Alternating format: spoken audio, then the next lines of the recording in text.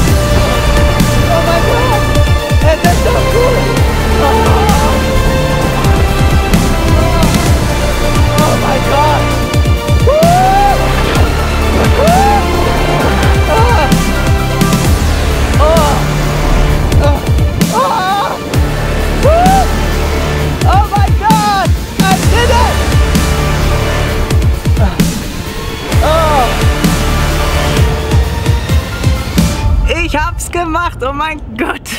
Oh, es war, erst war es wirklich echt schlimm irgendwie abzuspringen. Doch dann irgendwie so zwei, drei Sekunden später denkst du dir dann so, okay, du fällst immer noch.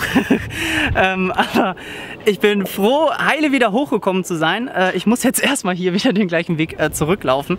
Und äh, ich hoffe, euch hat es gefallen und schreibt doch mal in die Kommentare, was ich als nächstes machen soll. Das wäre doch bestimmt auch mal irgendwie. Dann machen wir so ein eigenes Format, irgendwie Kmetsch macht das. ähm, ich habe mich überhaupt, äh, ich habe mich gefreut, dass ihr zugeschaut habt und äh, kommentiert fleißig, liked und wir sehen uns dann zu einem nächsten Video. Bis dahin, euer Kmetsch. Ciao.